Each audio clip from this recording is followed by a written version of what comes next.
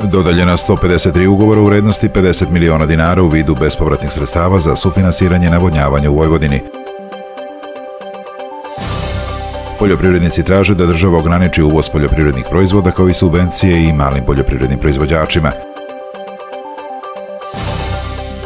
Ministarka poljoprivrede i zaštite životne sredine Snežana Bogosavljević-Bošković u poseti Moskvi. Sam početak ovog subotnjeg izdanja Agrodana namenjen je za informacije iz sveta poljoprivrede koje su obeležile protekla 24 sata, u nastavku vas očekuju i druge zanimljive teme.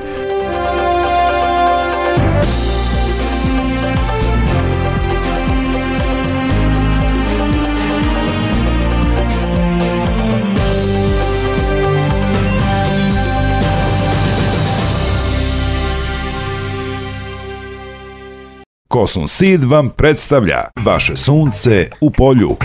Euklid, visokorodna sorta ozime pšenice sa produženim optimalnim rokom setve. Euklid seme ozime pšenice prilagođava se raznim tipovima zemljišta. Ekonomična setvena norma, intenzivno bokorenje, otporna na poleganje, dobra otpornost na pepelnicu rđu i fuzariozu klasa.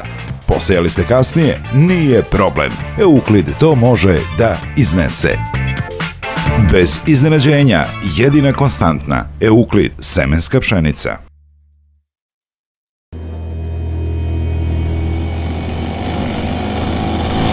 Šta to radiš? Ja se čaram, šta se briga, vidiš da pali? Šta to radiš? A vidiš da pali mi, moj baba je palio. Ej, Gasi to, šta ti? Gasi to! Jo! E, Čičo, dok ti pališ ovde, on je već opalio ženu. I poprsko je ekovitalom. I do proleća njima moj čist. Ko onaj dođeš, mi šta je Pa ono? taj! Ženo, sipni ga, sad ga da doji. Zato te i prva žena ostavila. Mnogo mrciš. Aj, krijeći.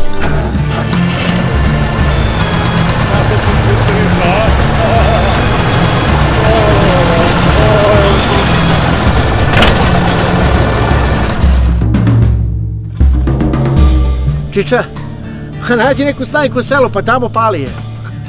Da si sutra ujutro oma dono taj eko vital. Ne palite straništa. To je i štetno i zakonski kažnjivo. Koristite Ekovital.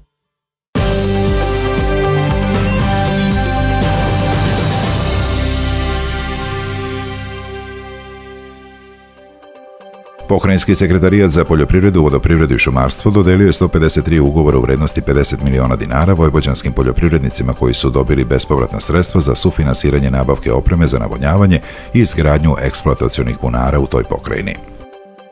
Zamenik resornog pokrajinskog sekretara Branislava Knežević rekao je da je na ovaj način zaokružen proletos raspisan konkurs za navodnjavanje i eksploataciju bunara i utrošeno je 270 miliona dinara, raspodeljenih na 523 korisnika. Knežević je istakao da je dobra vest to što su rebalansom budžeta obezbeđena dodatna sredstva za navodnjavanje, pa će vojvođanski poljoprivrednici na raspolaganju imati još 47 miliona dinara. On je dodao da se očekuje da će do kraja godine još oko 150 poljoprivrednika dobiti bespovratna sredstva od pokrajine. Ovim potezom pod sistemima za navodnjavanje biće novih 4.500 hektara, što sa ulaganjima iz 2013. i 2014. godine znači da će oko 20.000 hektara vojvođanskih oranica biti navodnjavano.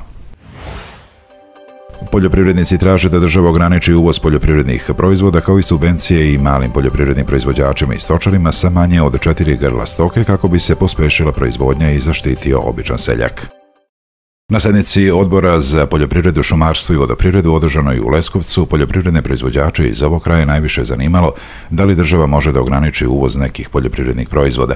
Predsjednik Skupštinskog odbora za poljoprivredu, šumarstvo i vodoprivredu Marijan Rističević kazao je tom prilikom da sporazum o stabilizaciji i pridruživanju dozvoljava određenu reakciju, ali postoji sporost određenih struktura u izvršnoj vlasti oko uvođenja prelemana na poljoprivredne proizvode ukoliko je ugrožena poljoprivredna proizvodnja zemlje koja je potpisala sporazum. Osim pomenutog, sednicu je obeležilo i pitanje eventualnih subvencija za male poljoprivredne proizvođače. Pokretanje tog pitanja motivisano je željom da se, kako je rečeno, omoguće subvencije i malim poljoprivrednim proizvođačima i stočarima sa manje od četiri grla stoke kako bi se pospešila proizvodnja i zaštitio običan seljak. Članovi su na sednici razmatrali i informacije o radu Ministarstva poljoprivrede i zaštite životne sredine za period oktobar-decembar 2014. a razgovarano je i o problemima u poljoprivrednoj proizvodnji na teritoriji Jablaničkog okruga. Vrata ruskog tržišta su širom otvorena za srpske kompanije iz oblasti agrara, izjavila je ministarka poljoprivrede i zaštite životne sredine Snežana Bogosavljević-Bošković, koja je tokom posete Moskvi pokrenula pitanje dalje liberalizacije režima slobodne trgovine. Bogosavljević Bošković prisustovala je otvaranju 17. agroindustrijskog sajma Zlatna jesen u Moskvi, centralnog sajma za region Ruske federacije koji se održava svake godine od 2000. Ona je rekla da je sa ruskim kolegom Tkačovim razmotrila najvažnije pitanja bilateralne saradnje u oblasti poljoprivrede. Bogosavljević Bošković ukazala je na dobru saradnju, koordinaciju sa ruskim veterinarskim i fitosanitarnim službama sa ciljem još većeg izvoza naših poljoprivrednih proizvoda u Rusiju. Takođe, Bogosavljević, Bošković i Tkačov saglasili su se da treba zajednički raditi na intenziviranju saradnje na zajedničkim investicionim projektima u srpskoj poljoprivredi. Ona je u telefonskoj izjavi Tanjugu rekla da je u razgovoru sa ruskim ministrom poljoprivrede Aleksandrom Tkačovim posebno istakla pitanje izvoza punomasnih sireva i živinskog mesa iz Srbije.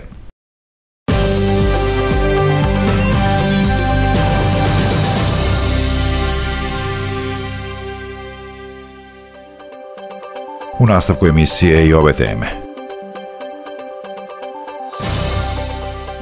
Visoki i stabilni prinosi poljoprivrednih biljaka ne mogu se postići bez primjene fosfora. U regionu Srednjeg Banata sve više poljoprivrednih proizvođača sa manjim gazdinstvima koji se okreću po vrtarstvu.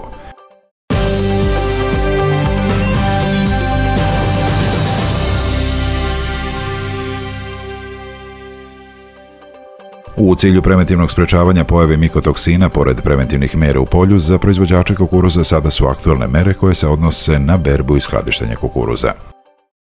Uslovi za razvoj mikotoksina mogu biti različiti i to prvenstveno zavisi od skladištenja i od vlage klipova kukuruza. Jedan od uslova za pojavu plesni i mikotoksina i to gde je kukuruz bio od početka, to jest od same setve preko berbe skladištenja do njegovog trošenja i konzumiranja. Nakon berbe kukuruza prosečna vlaga se treba smanjiti na 13 do 14 odsto da ne bi došlo do pojave gljivica koje se ubrzano šire i uništavaju klip kukuruza. Drugo, bitna je i higijena skladišta koja i pored vlage može da ubrza pojavu aflatoksina i onda se preko hrane unosi najpre kod životinja, a kasnije i kod čoveka. Njegovo prisustvo u organizmu može da izazove razne oboljenja, kako kod životinja, a tako i kod čoveka, s tim da unošenje veće količine može da ima i smrtni ishod. Sve više paora sa manjim posjedima zemlje u području Srednjeg Banata, vođeni isključivo teškom finansijskom situacijom, okreću se proizvodnji povrća. Čak nekoliko sela u okolini Zrenjanina potpuno se posvetilo povrtarstvu i taj trend i dalje raste. U regionu Srednjeg Banata sve je više individualnih poljoprivrednih proizvođača povrća. Uglavnom su u pitanju manja gazdinstva koje su se okrenula povrtarstvu na kojima dominiraju korenasto hrtolaste kulture i kupusnjače. Tamošnji savjetodavci smatraju da ovaj rastući trend ne bi smeo ostati nezapažen od strane nadležnih pre svega u smislu nekog vida pomoći ili subvencija u cilju napređenja tog vida proizvodnje. U ovom trendu Snežana Parađenović iz Poljoprivredno-stručne službe Zrenjanin kaže. U regionu Srednjeg Banata takođe takođe imamo sve veći broj proizvođača koji se okreću proizvodnji povrća. E, to su proizvođači koji nemaju toliko puno zemlje i e, menjaju joj namenu, znači da bi iskoristili sa manje jedinice površine veće prinose koji će biti rentabilniji. Nezgodno je tu što je neophodno u gajanju povrća imati sisteme za navodnjavanje, tako da je to još jedan moment gde, gde bi trebalo da se učestvuje na nekom višem nivou povodom subvencija i ostalih, da kažemo, ulaganja u ta sitna gazdinstva gde oni zaista mogu na fin način da proizvedu i ove useve, znači povrtarske useve. U regionu Srednjeg Banata imamo nekoliko lokacija, znači nekoliko sela koje su se baš posvetila toj proizvodnji. Jedno od tih sela je Mihajlovo, znači tamo zaista imamo raznoraznu vrstu proizvodnje, gde imamo bukvalno od paradeza, paprike, celera, blitve, karfiola, zaista jedan širok spektar proizvodnje luka crnog, belog. Stručnjaci smatraju da ovakav zaokret u poljoprivrednoj proizvodnji na tom području ima potencijal obzirom da nadležna savjetodavna služba pruža neophodnu logistiku i monitoring čak i entuzijastima i pukim početnicima u toj oblasti. Zaista s naše strane, sa strane prognoze izveštene službe gledamo da ispratimo proizvodnju u regionu Srednjeg Banata po svoj svojoj raznolikosti, da ispratimo i one proizvođače koji su entuzijasti u ovom poslu i počinju, znači da imaju kod nas logistiku i podršku, a njih, eto da kažemo tako, iz godine u godinu sve više i više. Prema rečima stručnjaka, ovaj trend bi se mogao objasniti činjenicom da veliki broj ratara je započeo ili započenje proizvodnju mrkve, paprike, krompira, karfiola, zatim blitve, paradajza, paštrnaka ili celera, pre svega zato što se time ostvaruje veća ušteda po jedinici zemlje jer iziskuje manje ulaganja, a proizvodnja je znatno rentabilnija. Naredne trenutke emisije posvetit ćemo ulozi fosfora i fosfornih đubriva u postizanju visokih i stabilnih prinosa u poljoprivrednoj proizvodnji. Visoki i stabilni prinosi poljoprivrednih biljaka ne mogu se postići bez primjene fosfora. Pored povećanja prinosa, fosforna đubriva pospešuju razvoj korenovog sistema biljaka, potenciraju bokorenje i obrazovanje više listova, zatim povećavaju usvajanje azota, povećavaju sadržaj proteina i fosfora u biljkama, poboljšavaju hranljivost i svarljivost biljne mase. Fosfor se u zemljištu nalazi u organskom i neorganskom obliku. Na pristupačnost fosfora u zemljištu utiče veći broj faktora. Veliki uticaj ima pH vrednost. Pri nižim pH vrednostima smanjuje se rastvorljivost fosfora i tada nastaju teško rastvorljivi fosfati. Fosfor se može vezivati i na gline zasićene kalcijumom, što je karakteristično za karbonatna zemljišta. Jedan od oblika vezivanja fosfora je i vezivanje fosfora putem mikroorganizama. Mikroorganizmi osvajaju fosfor, ugrađuju ga u svoj organizam, a nakon njihove smrti fosfor postaje dostupan biljkama i mikroorganizmima. U zemljištu fosfor brzo prelazi za lako teže rastvorljivih jedinjenja. Na taj način fosfor se veže u zemljištu, fiksira i postaje teže pristupačan biljkama. Fosfor se u zemljištu nalazi i u nezamenjivom obliku, to je rezervni oblik fosfora u zemljištu. Rezervu fosfora u zemljištu čine fosforni minerali i razna organska fosforna jedinjenja. Iz minerala fosfor se oslobađa njihovim raspadanjima iz organskih jedinjenja mineralizacijom, to jest radom mikroorganizama.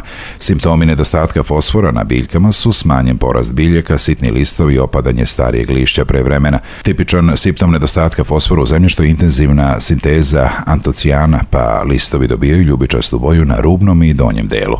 Za naše zemljišta može se reći da su uglavnom slabije snabdevena lako pristupačnim fosforom, pa je za uspešnu biljnu proizvodnju neophodno đubrenje jer se na taj način osiguravaju stabilni visoki prinosi. Fosfori se ne ispiraju iz zemljišta, niti iz biljke usvajaju više od svojih potreba, pa se fosforno đubrivo može unositi svake druge ili treće godine u većim količinama.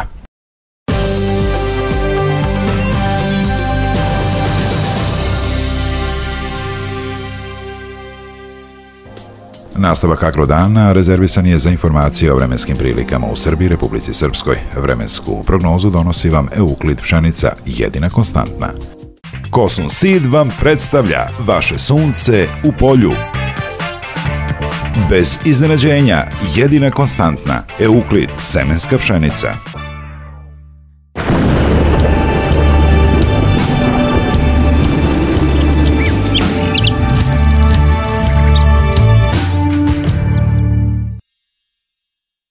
Jačano oblačenje koje je tokom ranog jutra zahvatilo južne i centralne predele Srbije tokom dana proširilo se i na ostale krajeve zemlje.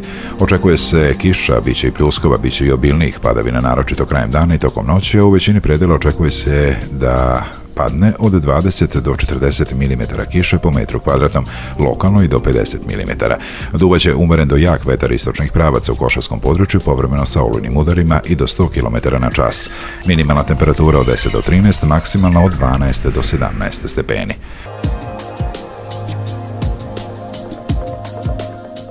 Nastavlja se period sa nepovoljnim uticajem biometeorološke situacije na većinu hroničnih bolesnika. Poseban opre savjetuje se cerebrovaskularnim bolesnicima i asmatičarima kao i nervno labilnim osobama. Od meteoropatskih reakcija moguće se reumatski bolovi na raspoloženje. U saobraćaju se preporučuje povećana opreznost.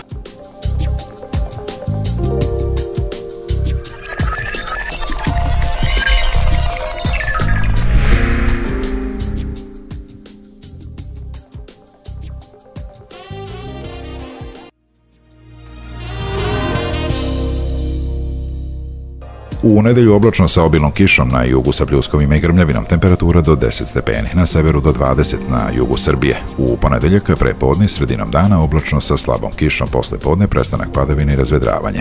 Utorak nakon hladnog i maglovitog jutra, tokom dana pretežno sunčano i malo toplije. U sredu novo na oblačenje sa kišom, u Košovskom području duvaće jak jugoistočni vetar.